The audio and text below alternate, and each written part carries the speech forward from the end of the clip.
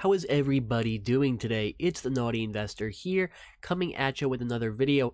I wanted to talk a bit about Ethereum today and sharding. So, what is happening with Ethereum and what is sharding? What does it mean? Now, I don't want to see any comments below about pooping in your pants. I'm saying shard, da da da, not with a T. So a D, not with a T.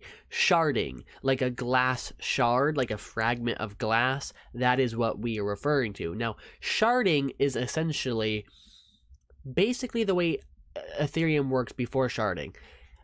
There are a ton of validator nodes. All these nodes are validating the ledger, validate, validating the um the, the network, the blockchain. And essentially what sharding does is it makes it so each node instead of validating the entire thing, instead of storing the entire thing, it's only going to have to store a shard of it, a fragment of it, if you will. And now, what this in essence does is it dramatically improves Ethereum's scalability. Dramatically.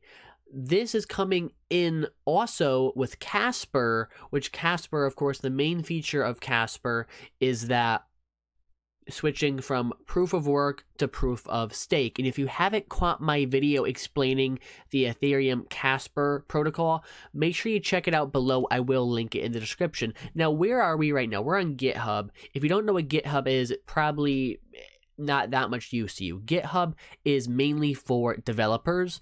And while I'm not personally a developer, I have flirted a bit with computer science programming in the past, and I have used GitHub here and there when analyzing code for an ICO or for an actual cryptocurrency. Now, GitHub is great if you're looking at ICOs, at cryptocurrencies, but if you don't understand how to read code, it probably isn't that useful to you. But if you did want to check it out, it will be linked below in the description. Another great place to learn about sharding is the Ethereum subreddit but you know all you need to know currently.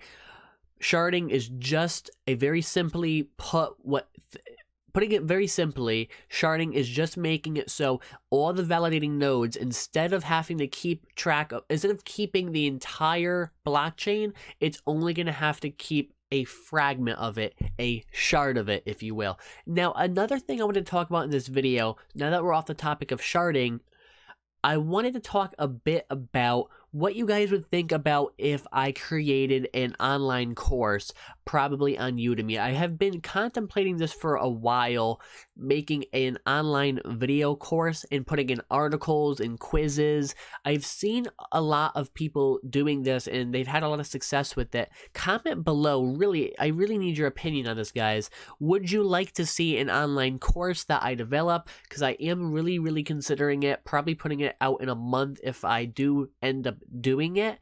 And what do you think would be a fair price for this course?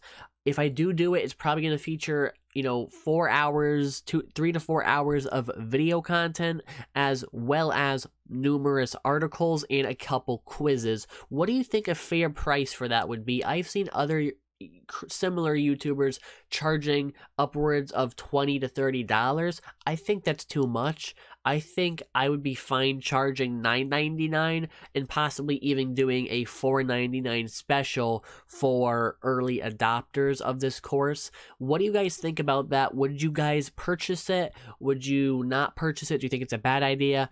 comment below. I just want to hear your thoughts on it because I don't want to create it and people are like, oh, I'm not going to download this, right? So comment below, comment your thoughts. Thank you so much for tuning in to today's video. This week has been really great for my channel, and I will see you guys in the next one. Have a great day, guys, and enjoy the weekend. Peace out.